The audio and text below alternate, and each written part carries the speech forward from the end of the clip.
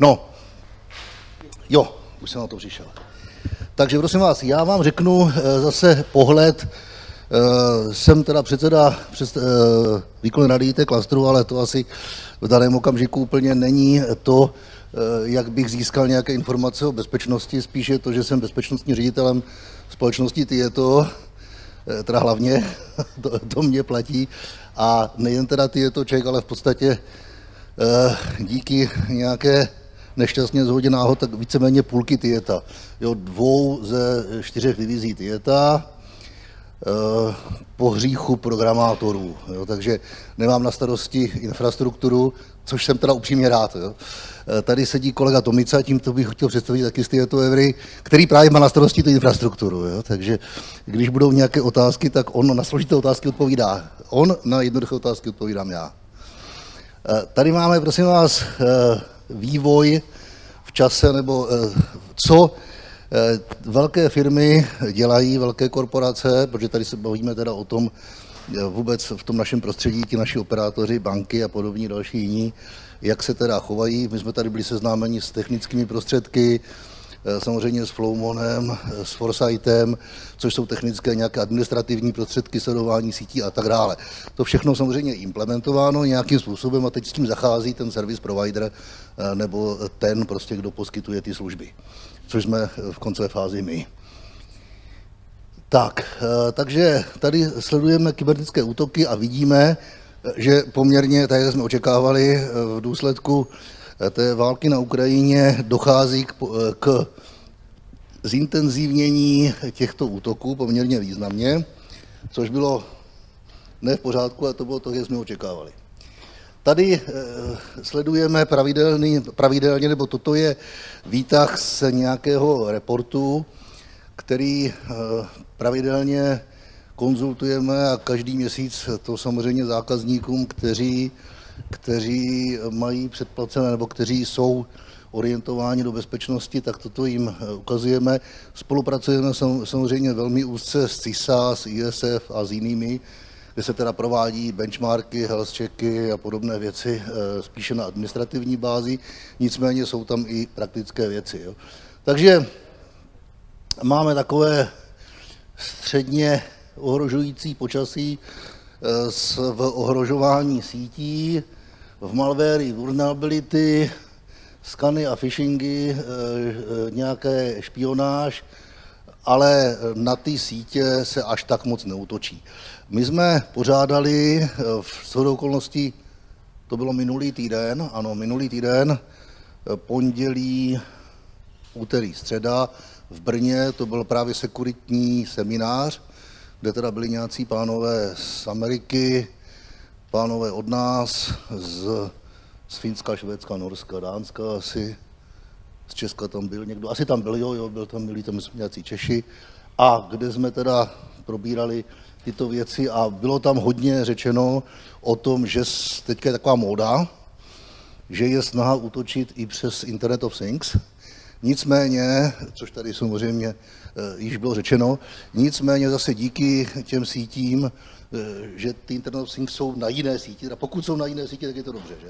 Pokud jsou na právě síti klasické počítačové, no tak je to špatně, jo? takže tam, tam samozřejmě je problém. Další problém je ten, že eh, tyhle ty věci komunikují velmi jednoduchými protokoly, které se dají velmi jednoduše knout a navíc ty zprávy jsou taky triviální, takže ono podvrhnout, a je to takové poměrně fatální věci, jo, takže podvrhnout nějaké zprávy z Internet of Thingsu, eh, když vám pak eh, ty senzory hlásí nějaké věci, které by hlásit neměly, tak pak se řítíme v tom Boeingu s tím špatně nastavenou e, klapkou nebo senzorem, senzorem úhlu náběhu, jo? Takže, takže je to nepříjemné. Jo? Takže opravdu, pokud uvažujete o Internet of Things, tak nejjednodušší řešení je samozřejmě to mrsknout na, na síť, což, což bych se tomu vyhnul i v dnešní době, když tak, tak eh, důsledně dodržovat segmentaci sítí. Jako ono, eh, to pak se k tomu dostaneme, tyhle ty návrhy jsou jako takové obecně, obecně platné. No a pak samozřejmě nějaké doporučené čtivo, tak nejlepší čtivo, které je, jsou nějaké reporty CIS, eh, CISA, nebo samozřejmě na Nukibu taky dávají velmi dobré velmi dobré přehledy. Tady bych chtěl paní Minksovou teda pochválit, že, že to není úplně špatné, co dělají. Ehm, jak se, nebo co teda se používá k takovému typickému útoku na stát? Nás zajímá primárně státní sektor. Jo? Nás zajímá primárně státní sektor, takže samozřejmě social, social engineering, eh, klasika, zase jak již říkala paní Minksová a jak říkal teda již před řadou let eh, Stalin, že říkal, nejsou lidi, není problém. Jo? takže oni jsou lidi a je problém. No, takže, eh, takže eh, jako kdyby, kdybychom, neměli, kdybychom neměli lidi, tak, tak jsme úplně v cajku. Jo. Takže nejhorší, nejhorší na celém IT jsou ti, jsou ti uživatelé, jo, nazývaní teda samozřejmě eh, v různých kruzích jako BFU, což jako víme, že... Takže ti uživatelé nám samozřejmě se tam snaží dostat všechno, co stanou pod ruku. Jo.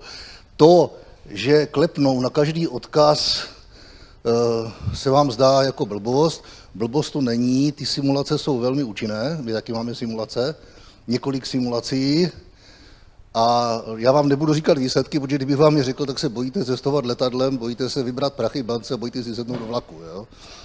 Eh, takže vám to neřeknu radši. Ale eh, byli byste překvapení, kolik velmi fundovaných a extrémně dobře placených pracovníků klikne na každý odkaz, který dostane. Jako.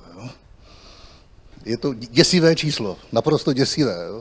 Z toho mám opravdu ten, ten černý obrázek. Takže, takže opravdu ta simulace prostě je, ta simulace je zásadní. A já občas chodím, že v rámci IT klastru mám teda samozřejmě vycházky do reálného prostředí, tady českých firm a úřadů a dalších jiných a a tam se potýkají na těch úřadech, třeba konkrétně na úřadech eh, té státní zprávy nebo samozprávy se potýkají právě s těmi uživateli taky. A tady bych chtěl říci, že nepomáhá nic. Jo, pomohlo by opravdu nějaká možná amputace rukou, nebo já nevím, co prostě udělat s nimi. Jo. Osobní školení nepomáhá, vysvětlení nepomáhá, eh, šifrování nepomáhá, DLPčka nepomáhají. Jo. Jako opravdu ti lidé si tu cestu vždycky najdou. Jo? Ne, nevím, co s nimi. Jo? E, snad jedině DLPčko, jo? opravdu nějaké data loss protection, což samozřejmě stojí balík peněz, jo? Ale, ale asi opravdu data loss protection, anebo nějaký fakt segmentace přes nějaký next generation firewall a opravdu, aby ti lidi mohli jenom tam kurňa, kde, kde, kde můžou a nikde jinde je to nepustilo, prostě nevím. Jo? Nevím, nemám tušení, jak tomu asi, asi takové nějaké věci na ně vymyslet, prostě nevím. Ti uživatelé jsou opravdu naprosto, naprosto urputní. Jo? Takže uživatelé, dezinformace, sankce samozřejmě, eh, nějaké ukradené řetězce, eh, jo, no, jo, nebo teda brokova, eh, tak, eh, to jsou, pardon, to jsou vektory, to znamená útok, útok na řetězce dodavatelské, eh, na náhradní díly, mobilizaci, komunikace a tak dále. No, na co se útočí? Útočí se na všechno samozřejmě. Útočí se na satelitní komunikaci, eh, na eh, státní agentury, no ty se až tak moc neútočí, tak trochu. Defense Forces taky ne, ti se umí celkem dobře bránit, ale Public Healthcare ano, Heavy Industries ano, IT a Communication nejvíc, Energy taky nejvíc a Traffic a Logistic ano. Eh, tak, pojďme dále. Tak. Tady jsou takové dobré rady, řekl bych až knížecí od CISy. Jo? To znamená, že se má snížit eh, nějaká pravděpodobnost toho e, útoku, to znamená neustále kontrolovat přístupy, neustále si kontrolovat ty sítě, což je právě tady v intenci toho, co říkali kolegové přede mnou.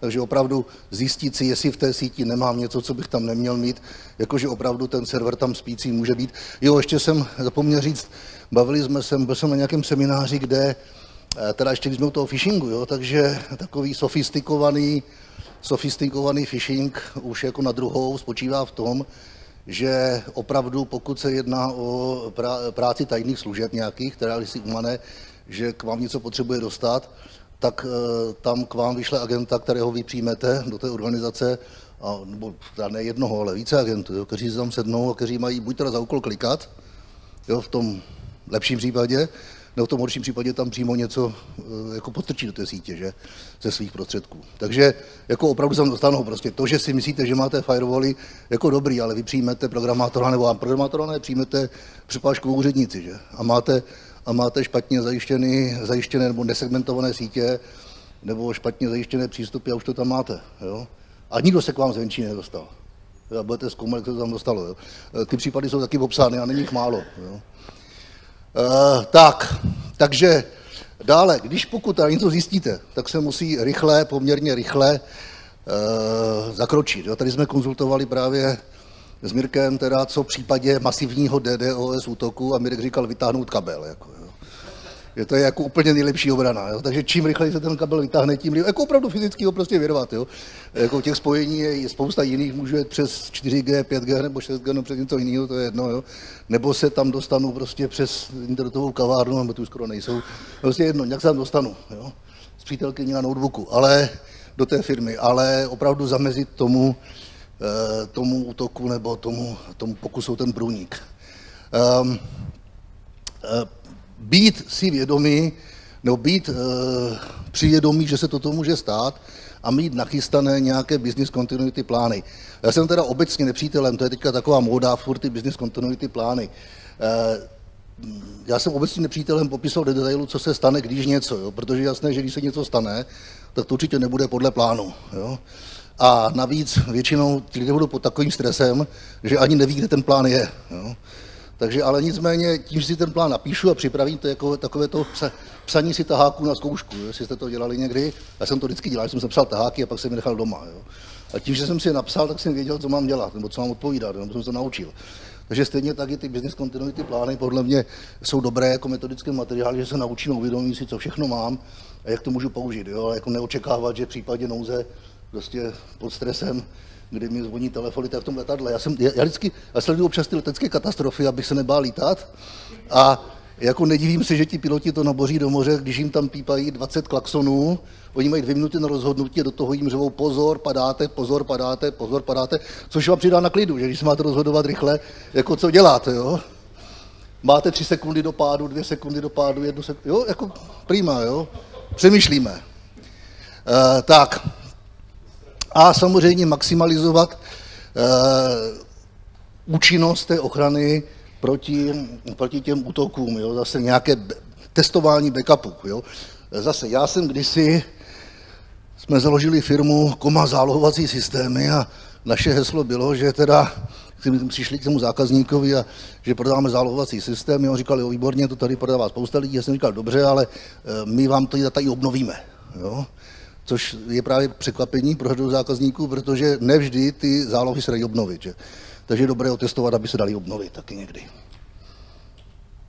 Tak, tady je zase 12 dobrých rad, to znamená uh, uh, uh, bránit se proti, uh, proti, proti prozrazení, uh, umožnit nebo zlepšit monitoringy a logování, Eh, a zavést multifaktorovou autentizaci. Ano, prostě multifaktorová autentizace jako jednoznačně všude a pokud to je možné, eh, tak eh, samozřejmě segmentace sítí, to je doporučení NUKIBu, Next Generation Firewally, aplikovat princip co nejméně, co nejméně přístupu nebo co nejméně oprávnění. Jo?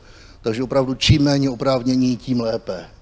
Já třeba taky na firmě, jako to vždycky bylo taková doba, jestli si pamatujete, že ředitel musel mít nejvíc klíčů. Jo, kdo neměl nejvíc klíčů, ten nebyl i jiný. Jo? tak jako opravdu jsou na firmě řada místností, kam já nemůžu a nemám klíče, máme elektronickou kartu a jako mě to nějak nevadí, když tam potřebuji, se tam pozvu, pozvu strahuj tam, kde se mnou, jo, protože bych měl trvat na tom, že musím mít přístup všude. Jo. Mám teda přístup do výtahu, co má málo kdo, že můžu si dát až do, až do garáží, mimo, mimo, mimo recepci, jo, to je důležité ale jako jinak v zásadě na jiném přístupu mě až tak nezáleží. Jo. Takže, takže opravdu e, toto je důležitá, ta, klíčová věc. E, tady zase navazuji na to, co řekl kolega přede mnou, uh, depreciate obsolete accounts and, uh, and infrastructure, takže opravdu zrušit to, co nepotřebují. Jo? Uh, na balastu se mi samozřejmě hromadí špína, takže to znáte z domu, zůstane vám chleba pod skříní a za chvíli se obalí plísní, takže pozor na to. Aplikovat updaty, backup, backup samozřejmě, eh, vyvinout a eh, trénovat samozřejmě tu odezvu na ty incidenty, rozumět tomu riziku v celém tom řetězci dodavatelském a řídit účty a autentifikace. Tady tak, dobře. Tak, tady máme tabulku takových typicky, co se může dít. To znamená vliv, že jo, z leva doprava, pravděpodobnost z dola nahoru, to znamená nejčastěji takový nejtriviálnější útok, že tam pustím nějakého robota, který mi začíná tu adresu něco posílat. Jo. Klasický DDoS, ale jako jako nic se neděje, jak se to nějak přesměruje, nebo něco, něco s tím udělám, vytáhnu ten kabel a prostě jedu mimo, uvidíme, jak to vyhnie. Eh, pak samozřejmě eh, jsou na řadě kritické vulnerability. Eh, zase je takový hit a všichni volají po pen testingu. Jo. Máme rádi pentesting, to je super, ti etičtí hekři prostě v blikajících lampičkách sedí a teďka hekují večer, jo, až se z nich kouří. Samozřejmě to je ta nejméně jako lepší je se zeptat, když se vás krásná dáma zeptá, že máte krásného pejska, jak se jmenuje? No tak vy prozradíte jméno pejska, etický hacker už může odpoledne si dát 20, jo, protože napíše jméno pejska, je tam, nebo tam přidá 1, 2, 3, dobře, vykřičník, jo. Ale, ale jako půjde to. Takže takhle, takhle se penetration testing uh, uh, jako úplně není nutný. Já vždycky doporučuji, než penetration testing, tak se radši udělejte vulnerability scan. Vulnerability scan vám to češe, zjistí co a jak. Jestli teda zjistíte, že je to e, nějaké nahnuté, tak si to opečujte příslušně. A když to opečovat nemůžete z nějakých dobrých důvodů, protože kompatibilita, protože něco, no tak pak si tam teda zkusíte udělat cílený nějaký penetration testing na ty cílené věci, ale dělat si nějaké obecné penetration testingy do nějakých subsítí, to mně přijde zbytečné utracení peněz. Ale hlavně časově náročné, ani vám to neřekne. Uh, tak, Eh, to, jako jinak etický hacker to je něco jako ještě, já znám, jsem znal příslušníka takových těch, a možná ještě žije, příslušníka takových těch, těch tajných služeb, těch akčních jednotek, jo, který jako vždycky dělal u policie jednu chvílku a pak zase dělal třeba pro Rusy, anebo pro Izraelce, a pak zase u policie a pak zase pro nějakou mafii, takže oni jako ti lidé stejně jako ten etický hacker, jo, že jako ve dne je etický, v noci je neetický, jo, takže no, jako těžko říct, jo, komu dáte ty data. Eh, zneužití samozřejmě digitální, digitální identity, což je klasika. Jo. Eh, tady ještě můžeme, pak je tam Enterprise Ransomware, jo. takže zase ransomware. Ransomware je taková složitá věc. Jo. Tady samozřejmě máme takové ty řešení s tím RGPem, jo. Že, že máme něco, teď se to zálohuje, teď se to nějak rozpojí, je tam nějaký RGP, Uh, jo, takže máme ty zálohy vlastně jisté nějaké a pak je tam zkoušíme dát a testujeme a nějaké heuristické algoritmy Jo, má to dél, že? To je ten power, co si, jak oni to nazývají, a, a má to ještě nějaký řada firm to má. Ale nicméně eh, ransomware obecně zase po diskuzi tady v Evropě až tak moc nefrčí, protože ti lidi jim neplatí, že? Takže když, když jako neplatím, tak jako není peněz, není lásky, takže ono jako není až tak eh, to náročné. V té Americe jim platí víc, takže tam se to jako víc jede, ale tady to není takové, takové složité s těmi ransomware. Uh, únik dat samozřejmě přes, přes, samozřejmě přes ty uh, naše uživatele, to je složité. Jo. Dokonce se tam řada lidí dala i hesla. No. Insider Threads, to bych tady, sice to je hodnotí CISA, že to má impact střední a pravděpodobnost je nízká, ale já si myslím, že ta pravděpodobnost asi se bude zvyšovat. Jo. Že zase není problém na tu firmu, zejména na velkou firmu dopravit někoho, kdo, kdo tam bude se chovat tři měsíce dobře a pak se bude chovat špatně. Jo. U těch malých firm samozřejmě tomu to nepadá v úvahu, ale u těch velkých firm to je docela, docela jednoduchá věc. Když vezmete, že třeba ty je to přijímá 50 lidí měsíčně, no, tak jako...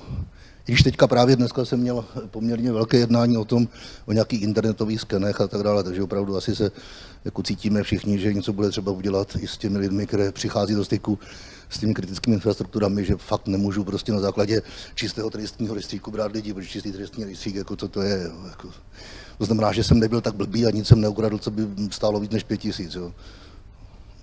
Co? No. A, A nebo že ještě mě neodsoudili, že druhé, to, je, to je druhá věc. Jo.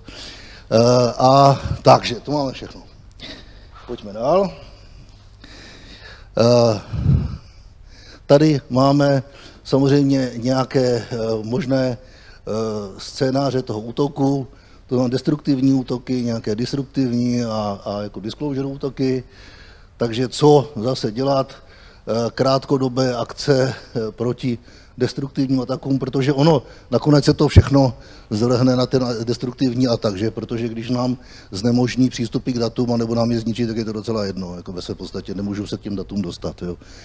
Takže zase tady máme řečeno doporučené nějaké body, které bychom měli splnit. Doporučuje nám to tady Short Term Protection Against Destructive Attacks.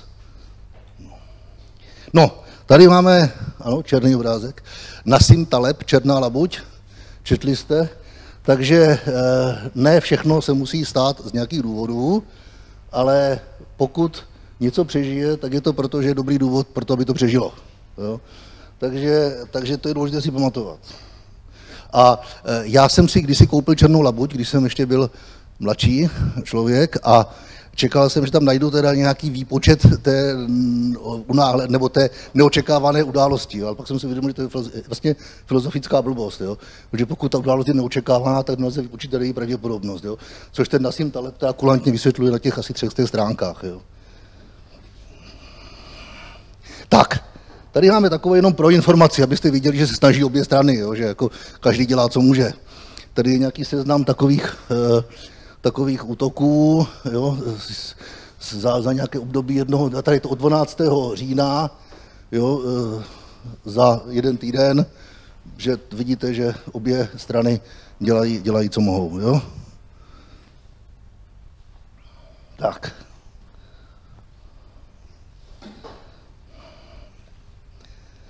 No, eh, tady máme vlastně systém, takovou nějakou strukturu toho, eh, jak, eh, jak pracovat.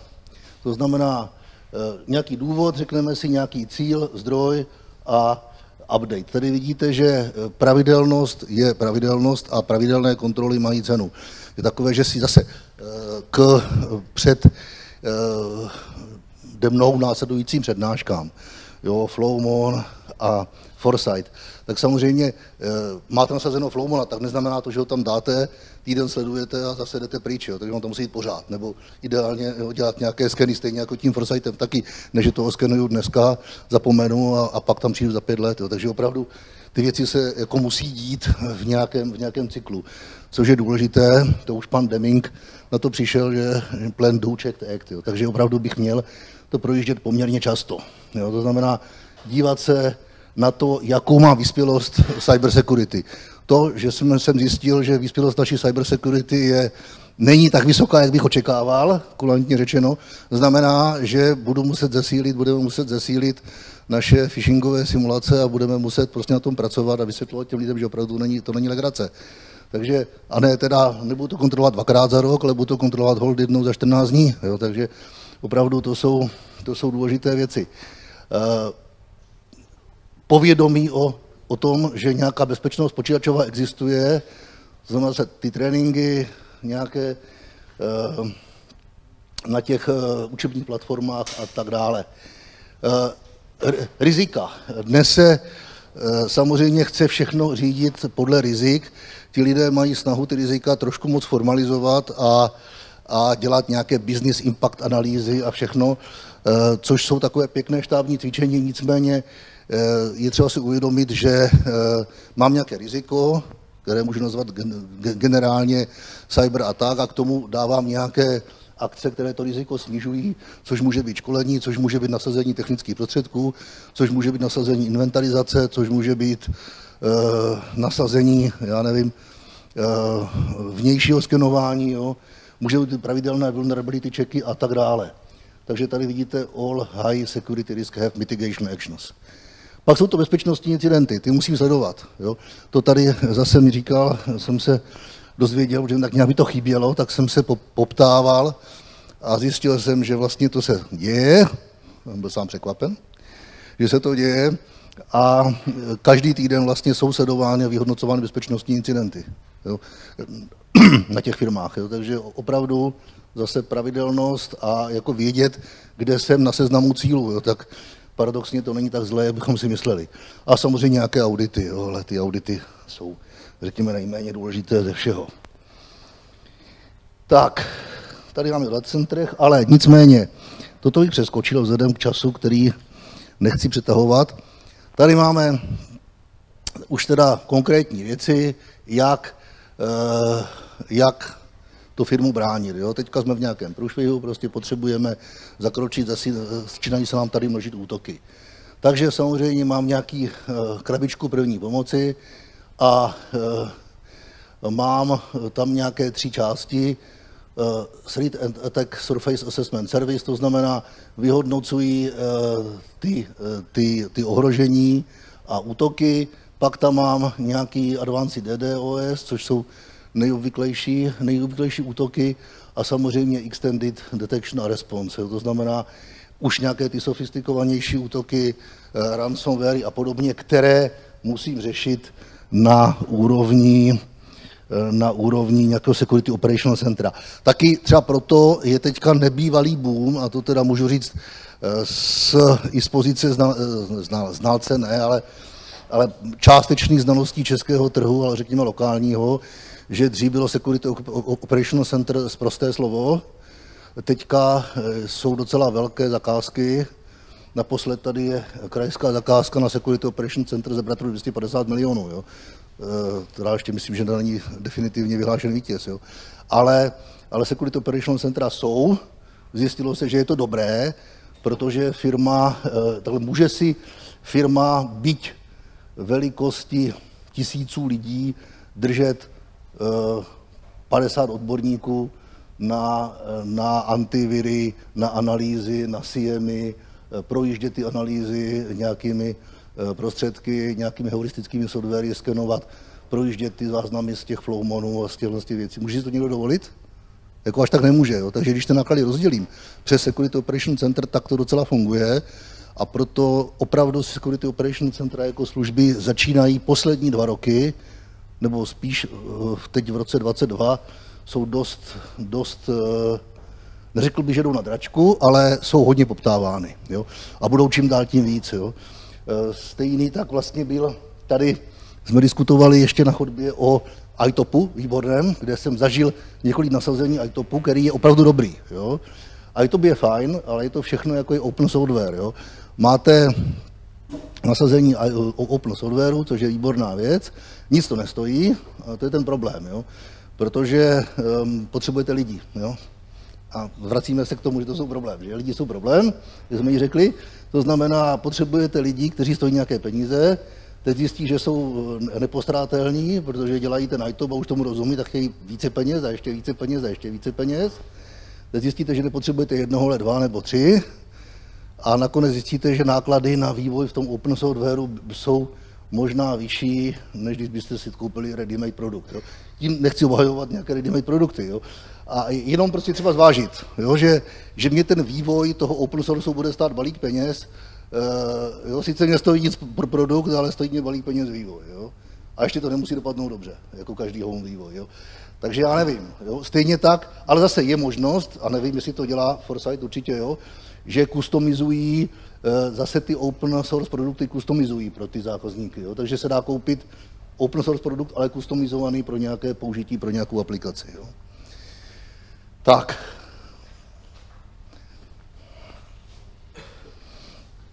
Takže podívejme se na tu službu, která mám dokonce komentovaná, je to v norštině, bohužel. Tady je eh, teda eh, služba, která se jmenuje Threat and Attack Surface Assessment Service, to znamená služba vlastně proaktivního, já jako security operačního centra. Tady vidíte, že je to nějak 4 000 euro za měsíc pro nějaký, já nevím, jednoduchý, jednoduchý případ, nevím, jak to tam bylo myšleno, ale abyste jenom viděli, že teda tisíce eur. A e, máme teda přehled o tom, co se děje zvenku, kdo na nás útočí a jak na nás útočí, co nám všechno uniklo. E, samozřejmě nějaké, nějaké poplachy a to všechno v nějaké prezentační formy, formě pro, pro management, kterému teda musíme samozřejmě prokázat, že to má cenu, že fungujeme dobře. Může to fungovat jako servis nebo nějaká instalace. Takže je to takový nějaký service desk, mini service desk. Jo. A zase, tak jsem říkal, tady vidíte jednotlivé části. Pak je Advanced Anti DDoS, kterou vidíte, že už je částka taková lepší. A e, v zásadě je to cloud-based, tady toto, to znamená, toto je řešení, kdy ta, e, kdy ta služba celá nebo ta, ten, ten provoz je přesměrován do cloudu, tam se to nějak přebere a v případě, že, že se zjistí e, DDoS, tak se, tak se ta větev, po které DDoS dynamicky přesměruje do nikam a a zůstane jenom se jako přetřídí a zůstanou jenom ty validní požadavky. No, takže taková rychlá záchrana. A další je, a další je ten uh, uh, Extended Detection Response. Tady je 9 euro na device, jo, což je pakatel, ovšem těch deviceů, pokud je 100 tisíc, tak už to pakatel není. Že? Takže, takže zase je to technologie, která, je to takový něco jako malé DLP, v podstatě, to znamená, monitoruje to akce přímo na těch zařízeních a, a, a sleduje to přímo trafiky až, až do, těch, do těch koncových bodů. Tak. To, takže toto jsou takové základní, základní nějaké rychlé pomoci a nějaký způsob, jak reagují ty firmy na ty požadavky zvýšené kybernetické nebezpečnosti. Ale jak jsem říkal, a jak říkala paní Minksová, pamatujte si, že největší problém jsou lidé. Opravdu. Tak, máte otázky? Nějaké, prosím, pěkně? Jak řešit problém lidé, že? Často vyřešit. Prosím? Já, no, to, je, to není možno takhle říct, co, co navrhu. Teď se budu vyhýbat odpovědí, protože nevím. Jo? Eh, záleží, záleží na tom, pro co. Že zase multifaktor to máte jak s heslem. Jo? Můžu dát 16 místné heslo s, s 30 znaky takovými, takovými, takovými, měnitelné co tři dny, taky na nic. Jako, jo?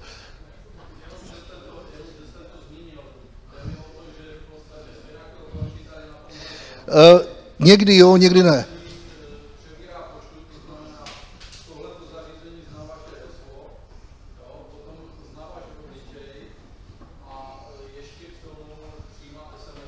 Tak ono, ono nezná můj obličej, jo.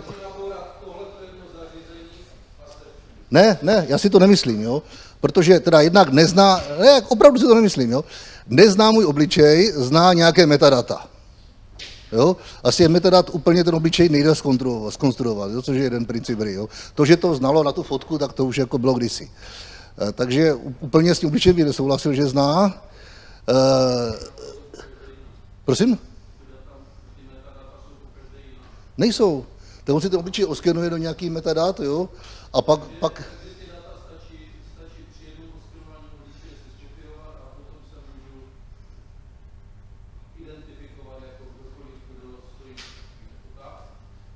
Dobře, ale pokud ten přístroj zase, ale dobře, jak si to skopíruju z toho? Jak si to vytáhnu? Aniž bych to věděl, pokud mám firemní mobil, jakkoliv, no ne, pokud mám firemní mobil, tak zase na tom je...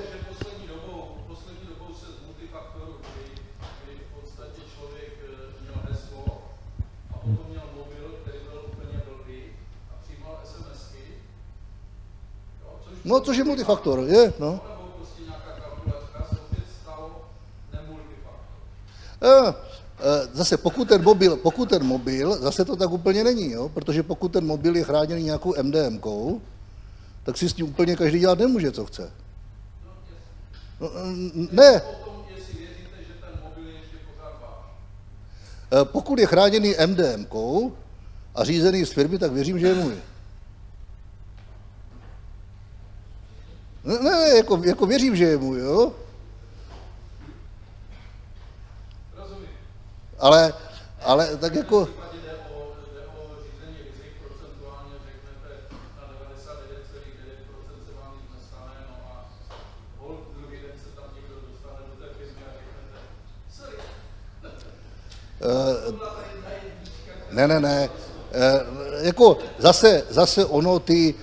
ty systémy jsou logované a že by se někdo do té firmy dostal a že by někdo ty MDMky pozměňoval nebo něco. E, jako ono, taky máme nějaké logy, jo, máme nějaké CMy, jo, takže jako úplně e, to tak není jednoduché. Jo. Zase případy, jo, byly případy, že se někdo pokusil něco znásilnit, ale opravdu to bylo odchyceno a bylo tomu zabráněno. Takže jako můžu říct praxi, že jo, jako, že se to fakt chytá.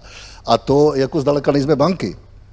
E, protože u nás až tak nejedná o peníze, ale ty banky, e, mám spoustu kamarádů v bankovním sektoru, v té bezpečnosti a, a to jako, to opravdu není úplně jednoduché, jo.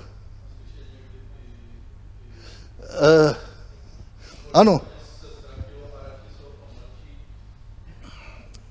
Dobře, no ale ano, efekt, efekt je ten, že prachy máte na svém účtu. Jako. Jo? Můžeme si to myslet, jako jo.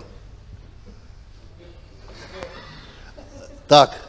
No a nebo, a nebo je druhá ještě možnost, a nebo ještě druhá možnost, a já jsem o tom uvažoval, že bych nechtěl zanechat digitální stopu, takže se všeho zřeknu, no, ale, ale to, se, to by se mi blbě žilo, jako, jo. Takže, takže zase tak, no.